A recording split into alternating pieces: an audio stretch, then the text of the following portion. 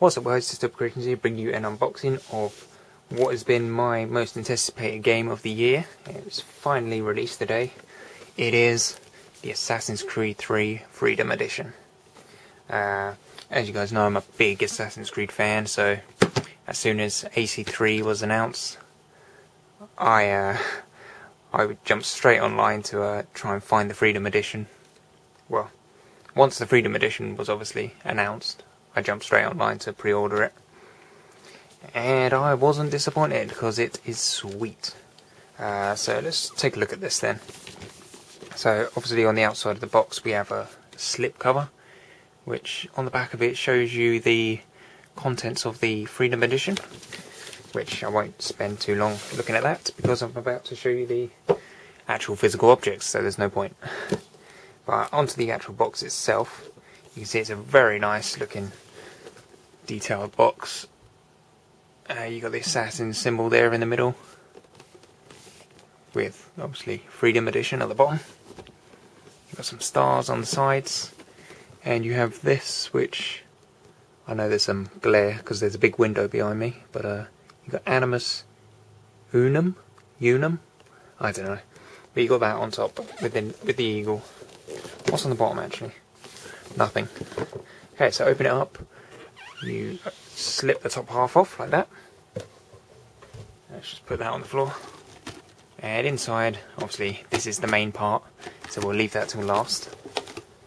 But uh, the other things you get in the game, or the Freedom Edition, is a steel box case, which of course, all the collector's editions these days are coming with these, and rightly so, because they look amazing.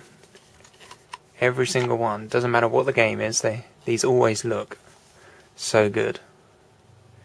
There you go. It. Very nice. So the next thing we have this little envelope with two art cards on it. I got one there of Connor hanging off the side of a I don't know, some sort of building anyway. Overlooking a camp and then you just got one of some sort of city. Again, I don't know what that is, what city that is. But yeah, so you get those two, which are pretty nice. The next thing is, we'll just put those back in there. So the next thing is George Washington's journal. Which inside you get this little bookmark thing.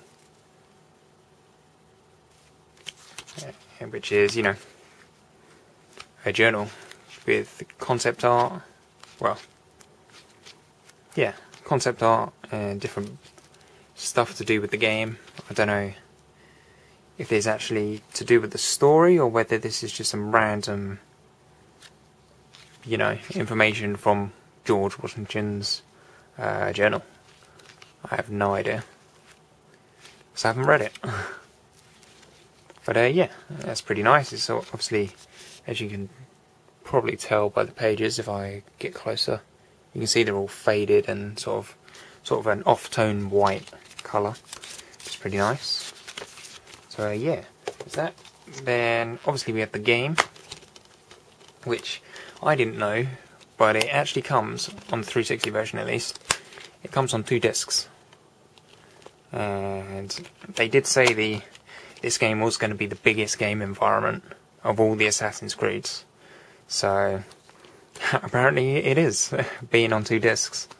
So, uh, the other things you obviously get in the game box.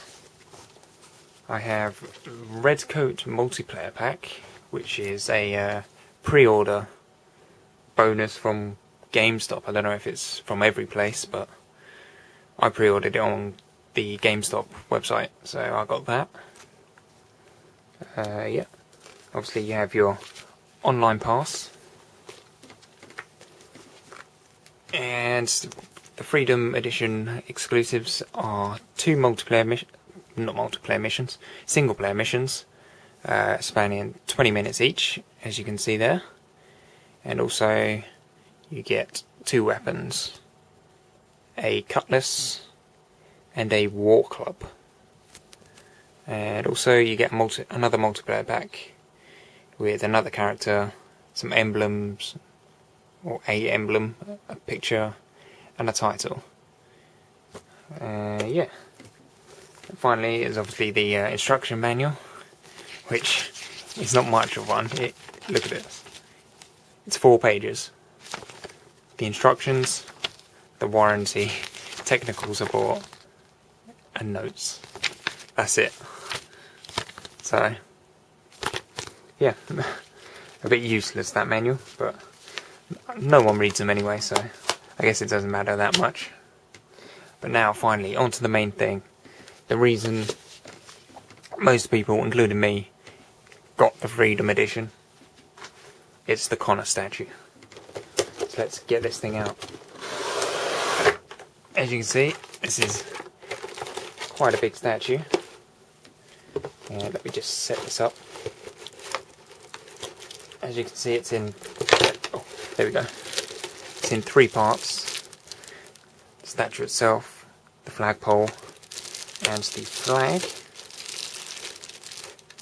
Speaking of the flag, uh, there's actually another edition which I presume is just a, a US exclusive.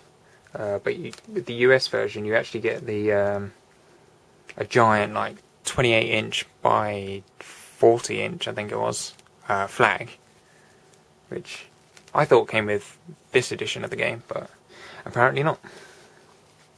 But anyway, let's get this flag into the statue. There we go.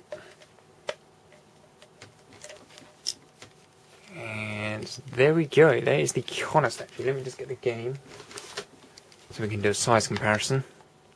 As you can see, it's just a little bit bigger than the uh, than the game box by a couple of inches, or probably about like four inches if you include the flagpole. But uh, yeah, it's a really nice, highly detailed uh, statue. Let's get a close up so you can see some detail. Oh, there's Connor's face with a scar on his right cheek. And yeah, it's very nice. This pistol actually comes out of the uh, holster. It's a bit tight, but it does come out. As you can see there, we've got some blood on the rock, which is pretty nice. Nice detail there. And uh, yeah. It's very nice. I like it. It can go with my Altair, no, not Altair, Ezio statue from uh, Assassin's Creed 2 Collector's Edition. And uh, yeah, so that is the Assassin's Creed 3 Freedom Edition. Very nice edition. Again, this was the main reason why I got the Freedom Edition, because of this Connor statue. But if you... Oh. Let me just take that out, just so it doesn't break. It actually looks in here, in the uh, game box. Was it the game box? Uh, give me a sec. Oh, here we go. On the back of the uh, Freedom Edition content, if you don't actually have the uh, Freedom Edition, or you, it's not available in your country or something, you can actually buy, as you can see there, a different Connor statue, where he's perched in a tree. Uh, and you can get that from the Ubisoft website. Doesn't actually say how much it is on here. No, it doesn't actually say how much it is, but if you can't get the Freedom Edition with this pose of Connor, uh, you can obviously get this one instead.